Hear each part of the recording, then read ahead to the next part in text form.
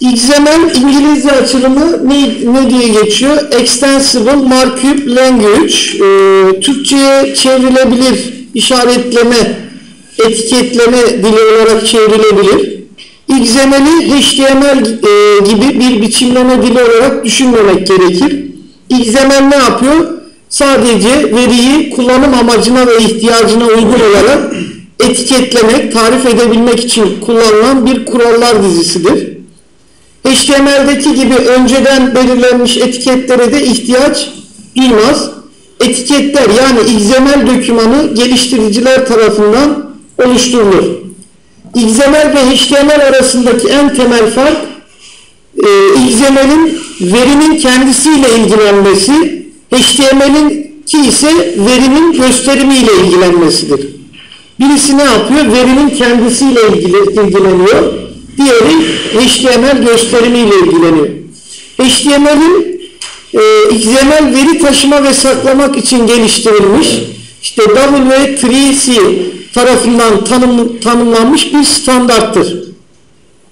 Bu standartlar ile yazılım geliştiriciler ve bilgi işlem sistemleri tarafından kolayca okunabilen, işlenebilen dokümanlar oluşturulmaktadır.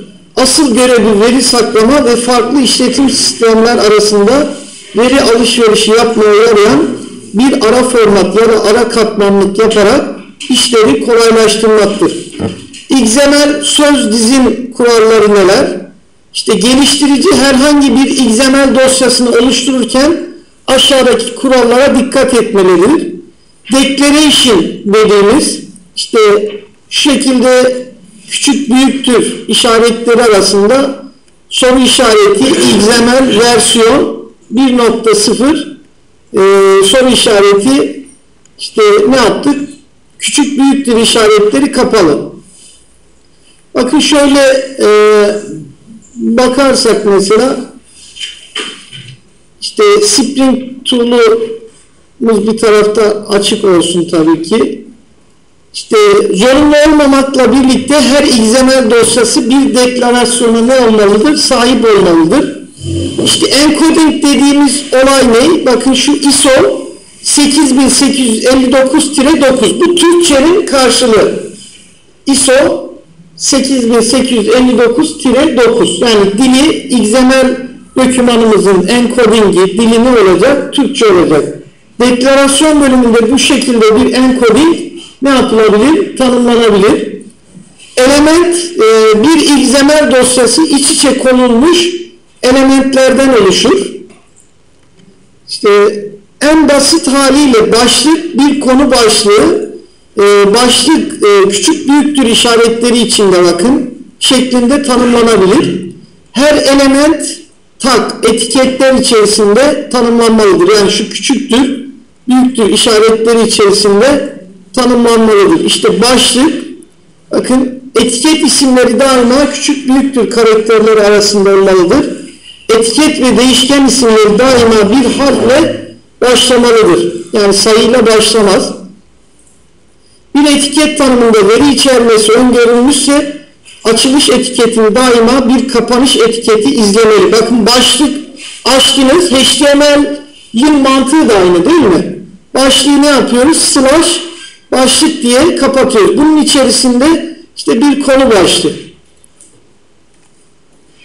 İşte şeklinde olmalıdır. Yine yorum bloğu işte comment dediğimiz yine küçük büyüktür işaretleri arasında ünlem işareti tire tire.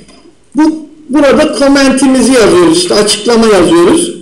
İşte, e, küçük büyüktür işaretleri ve ünlem slash slash işaretleri arasında yapılır. Böylece XML e, işleyen e, uygulamalar bu parçaları ne yapmıyor? Çalıştırmıyor. Sadece e, yazılımcı ne yapıyor mesela? Bir XML dokümanı oluşturdu. Bunu e, karşı tarafa bir açıklama yazıyor. Sadece geliştiricinin anlamlı ipuçları bırakması için küçük büyüktür işaretleri, tek tırnak, çift tırnak ve e, İngiliz apostrofu diyoruz değil mi? Karakterleriyle XML'de etiketleme kullanıldıkları için element işlerinde bakın küçük büyüktür. İşte A küçüktür B e, biz buna ne diyorduk mesela? E, veya mı diyoruz? Veya C büyüktür e, A ise büyük bakın açılan büyük ne yapıyor? Kapanıyor. Şimdi biz böyle bir kullanım yapamayız. Yani küçük büyüktür işaretleri böyle e, XML'in içinde kullanamıyoruz. Ne yapacağız? XML'in içerisinde kullanabilmemiz için bunun yerine bakın küçüktür yerine İngiliz apostrofu LT'yi kullanıyoruz. İşte büyüktür işareti için İngiliz apostrofu GT'yi kullanıyoruz. Yine şu apostrof işaretinin kendisi için işte AMP'yi kullanıyoruz. Tek tırnak için apos kelimesini kullanıyoruz. İşte şu çift tırnak için koat kullanıyoruz. Biraz önceki yazdığımız şu üst taraftaki ne yazım yanlış. Bakın XML'de böyle bir şey yazdığınızda ne yapacak? Hata verecek. Şu hata. Ha, bu şekilde de illa yazmak istiyorsan tabi bir çözüm yolu var. Ama sırf bu şekilde yazdığımızda bir hata bu. İşte bunu ne yapacağız? Bakın şu şekilde küçük büyüktür e, işaretleri işte LT neydi? Küçüktür işareti. A küçüktür. B ise veya bakın AMP e, veya C küçüktür A ise. Bakın doğru yazımı şu şekilde. Bunları iyi manada geçelim ki XML bu işin temeli. Niye? XML'i biz hem Spring'de kullanıyoruz hem Hibernet'te kullanıyoruz ve birçok teknolojiyle kullanıyoruz. Hatta Android'de de çok sık kullanıyoruz. İşte G-Data mesela biraz önceki yazmış olduğumuz elementin içerisindeki bir text parçasında sakıncalı karakterleri kullanmak için ne yapıyoruz? Ünlem işareti ve şu şekilde C-Data içinde yazarsanız bakın biraz önceki şekli kabul eder. İşte attribute dediğimiz olay ne? İşte başlık, value eşittir ne dedik? Deneme dedik. Bir konu başlığı. Başlığı açtık. Ne yapıyoruz? Başlığı kapatıyoruz. Elementler bu şekilde attribut alabilirler. Ancak bu attributlar boş olamaz. Ve muhakkak e, çengelli parantezler arasında çift tırnak işaretleri arasında olmalı. Bakın şu deneme yazısı ne? İşte attribute, işte başlık, value, deneme. İşte child element e, bunları anlatalım, uygulama yapacağız. Yani bir e, XML oluşturacağız. O XML'den ne yapacağız? Verileri okumayı göreceğiz. İlk önce okuma. Daha sonra işte bunların hepsini yazma. Bu, bu temel kısımları geçeceğiz. İşte child element dediğimiz ne? Bakın konular. Bu ana başlık. İşte bu konular yukarıda açıldı. Bakın üstte açılan ne yapıyor? Sonda kapanıyor. Başlık bir, şurası bir blok. Bakın child element işte. Child ne demek? Çocuk.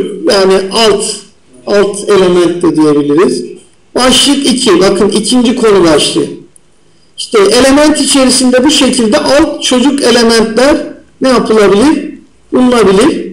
Empty element dediğimiz şey nedir? Eğer bir elementin içerisinde başka bir element ya da text yok ise şekilde slash'la kapatıyoruz. Yani burada başka bir şey yok. En kısa şekilde bu şekilde kapatıyoruz. İşte well format valid şayet dokümanın yani XML dosyanın belli bir yapıya uyması isteniyorsa doküman type definition kullanılır. Bu tanımlama ile hangi elemanın içerisinde hangi elementlerin veya hangi atributların bulunacağı belirtilir. Bir XML doküman well format olması ile onun valide, geçerli bir XML dosyası olacağı garanti edilmiş olmaz. XML işleyen uygulamalar validation, geçerlilik kontrolü yapıp yapmamakta nedir? Serbesttir. İşte document type definition e, XML dokümantının içine yazılabileceği gibi ayrı bir dosyaya da yazılabilir. XL'yi duydunuz mu işte? XL Extensible Style Sheet. Bu ne? Bir XML dosyasını XL kullanarak başka bir formata çevrilebilir. İşte XL e, file e, file output FO bir XML dosyanın herhangi bir ortamda nasıl gösterileceğini belirtir. XLT ise bir XML, XML'i düz metne, düz metne, HTML'e ya da başka bir XML'e ne yapabilir? Çevirebilir. İşte namespace kavramı var. Şu e, kısmı bir kaydedelim.